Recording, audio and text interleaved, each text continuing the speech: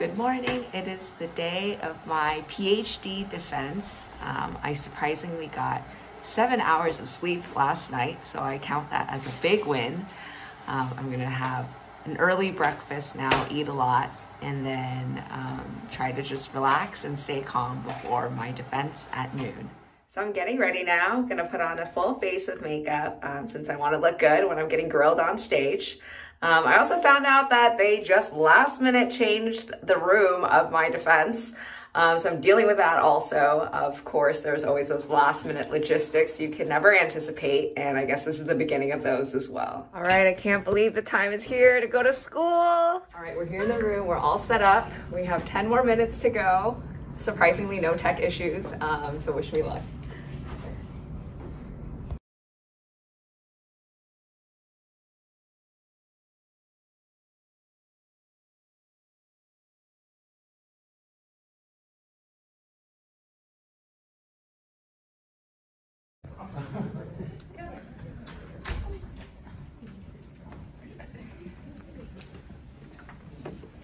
Well, I just want to say congratulations to Dr. Lou. Thank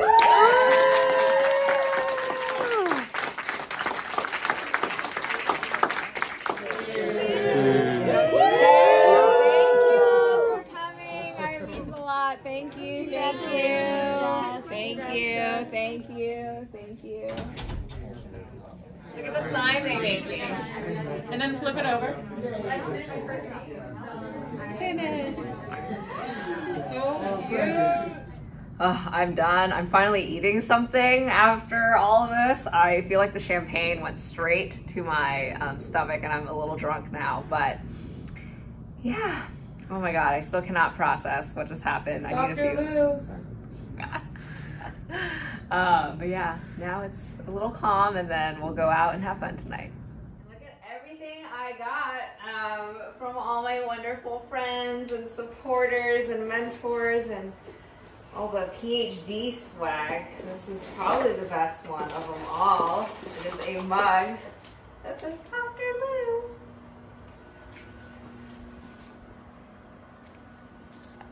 Hi. So I still taught my spin class today, even though I defended earlier, because that's just what I do. It was class.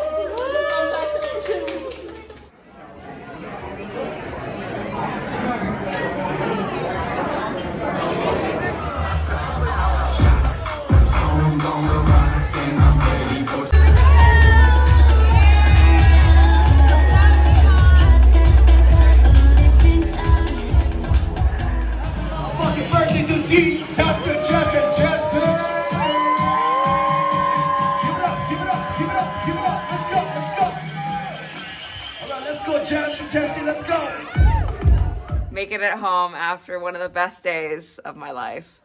So thank you everyone for making this so special.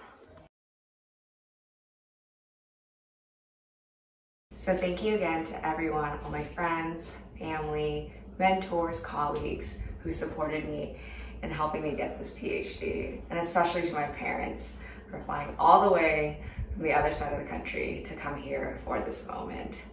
Um, so don't forget to like and subscribe, and I'll see you on another episode of Office Hours with Dr. Jess.